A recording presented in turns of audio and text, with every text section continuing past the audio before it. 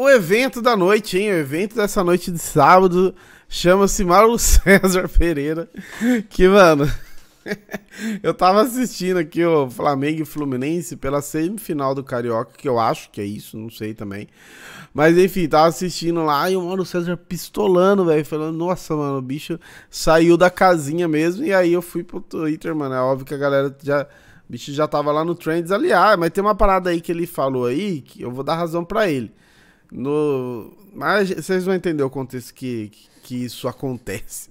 Mas, né, ele primeiro o que viralizou aí no, no Twitter foi ele falando da arbitragem, né? O Flamengo também nem fez diferença, mas o Flamengo ganhou é, empatou 0x0, tinha ganhado o primeiro jogo. E o gol do Pedro aí, que da tipo meio que matava o jogo, foi anulado. E aí, olha o que ele falou aí, ó. Quando, quando o juiz foi pro VAR, enfim. Pode olhar se tem um impedimento do Pedro, ok, pode até observar. Não tenho. E o Arrascaeta parte do próprio campo. É uma brincadeira parar para revisar esse lance, gente. Me desculpe. Achar que qualquer contato nas costas é, é falta é realmente não é futebol. É uma piada a arbitragem do Campeonato do Rio de Janeiro, o seu Wagner Magalhães, péssimo dos péssimos, está aí de novo, e o seu Rodrigues não está péssimo. É realmente uma piada isso aí. Sinceramente, achar que isso aí é falta, que não se joga. Ele deu falta. Pode olhar se tem um Foi de neto agora. É uma brincadeira. Mas olha aqui, ó. Com todo respeito. Foi falta, pô. Ah, tudo bem, não foi um baita toque, mano, mas foi falta. O Luiz Araújo chega nas costas do Keno, empurra, e aí na sequência. Na real, eu, eu lance assim, eu acho mais bizarro que o lance acontece lá atrás e depois tem toda a jogada e sai gol. Tudo bem, foi na origem, foi, mas eu não gosto quando. Acho meio estranho quando anula gol assim. Mas de qualquer forma, já que tá dentro do protocolo, né? Mas, cara, foi falta, né? E, e, aí ele reclamou como se o mundo tivesse acabado. Inclusive, eu não sei qual jogador que tava na transmissão, eu vou ficar devendo pra vocês. Mas ele fala, pô, eu não sei se foi uma indiretinha ali, mas ele falou, ó, eu como joguei, qualquer contato nas costas desequilibra, né? Então, ó, daí ele falou, o Keno deu uma valorizada, mas, pô, foi falta, enfim. E aí o Mauro, mano, ficou pistola.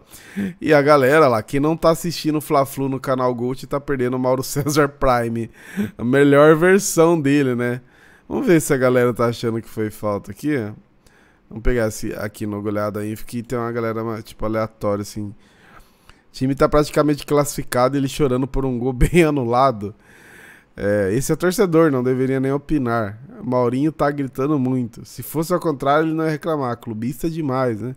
Não sei como um cara desse ainda tem espaço nas emissoras. Os caras pistola. Mas Maurinho, o Titinho falou que esse campeonato é o melhor e mais difícil estadual do país.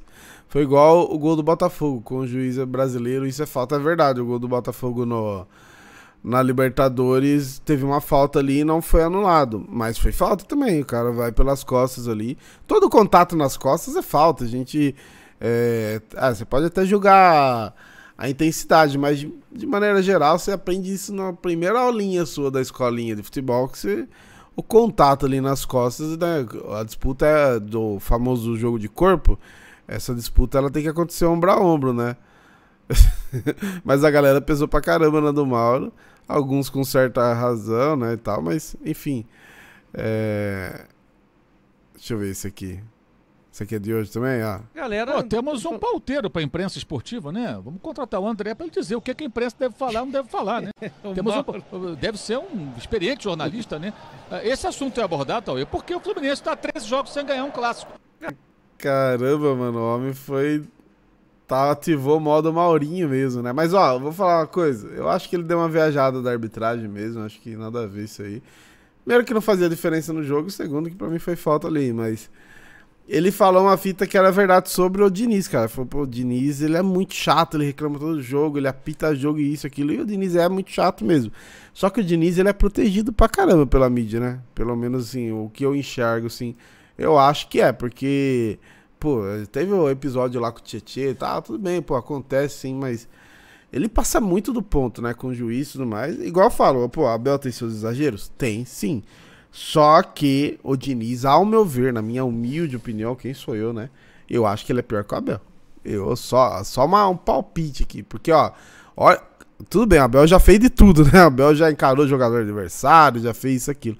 Mas eu nunca vi o Abel indo ali na, no bagulho do escanteio. Onde que o cara foi cobrar o juiz, velho? A Raíza Simplício postou aqui, ela, acho que ela é, se não me engano, ela é setorista do Flamengo. Mas, cara, olha onde ele foi. Depois ele tomou amarelo, né? Achei bem barato ainda ele tomar amarelo pra onde ele foi ali. E, mano, seguiu reclamando pra caramba. E eu falo, mano, eu acho. Não normal, ali onde ele foi é meio bizarro, assim, porque ele realmente foi lá no escanteio, né? Assim. Mas, mano, eu vou falar que só ele faz isso, que é. que. que acontece só no jogo dele, só no Fluminense. Não, acontece todo jogo do técnico passado, ponto, de brigar, de discutir, de sair da área técnica, né? Aliás, a área técnica é uma das coisas mais inúteis do futebol, porque ninguém respeita a área técnica, né? Nenhum técnico respeita. Mas a questão é do lance realmente dele fazer isso várias e várias vezes aí durante é, qualquer jogo e, e, ninguém fala nada, né, cara? Olha lá, o Diniz tá errado, mas quem deveria ser expulso é o árbitro, tanto o VAR quanto de campo, expulsos da profissão. O Fluminense faz o que quer, essa arbitragem é uma verdadeira vergonha, por isso o futebol brasileiro nunca será respeitado. O mesmo lance aconteceu na área do Fluminense. Renato Augusto empurrou o Fabrício Bruno e não foi marcado nada. Estou falando do lance do, do gol, né? Mas pegando aqui a questão do Diniz, eu acho que ele realmente passa bastante, né? Mas, né, eu pelo menos eu não me lembro de, de alguém da imprensa, assim. Foi hoje só o Mauro, assim, falando dele e tudo mais. A Raíssa acabou filmando aí. Mas ele realmente, ele não sei nem porquê, tá? Eu não sei nem porquê. O Diniz ele é muito protegido da mídia. E eu não sei nem falar porquê pra vocês. Porque assim, ah, ganhou Libertadores, da hora e tal, mas pô, ele já já tem uns aninhos de carreira aí, tá? Não é o cara que começou agora e foi lá ganhar Libertadores, não. Tá maior cota aí. E é mesmo antes da Libertadores, a galera já pagava um pau por causa do estilo dele. Eu, particularmente, não gosto. acho muito. É. Muito eu nem sei dizer qual é a palavra. Eu acho muito inconsequente, tá ligado? Porque assim, tudo bem, ganhou a Libertadores, mas a gente sabe que se não fosse o Ener Valência. porque foi bizarro aquele jogo contra, contra o Inter, assim. Então, mano, se você analisar mesmo. Enfim, né? Mas vocês estão ligados como que é, né? E ficou nisso, os, do, os dois personagens, o jogo 0 a 0 que já tava praticamente ganho pelo Flamengo. O Fluminense precisava ganhar de 3, três gols de diferença. Poderia acontecer? Poderia, mas hoje o Flamengo não tá tomando gol, tanto gol quanto ano passado, né? Então ficou 0 a 0 bem bosta. Teve aí o, o, lance do gol movimentado, essas tretas aí, mas acabou não dando em nada. E agora eu acho que o Flamengo vai pra final do, do Carioca. Pega o Real Madrid finalmente. E aí depois vai disputar, disputar um quadrangular final contra, sei lá, o Volta Redonda. Mas eu também não me peço para entender o Campeonato Carioca, até porque o Paulista também é confuso. Beleza? Deixa seu comentário aí, seu like, tamo junto.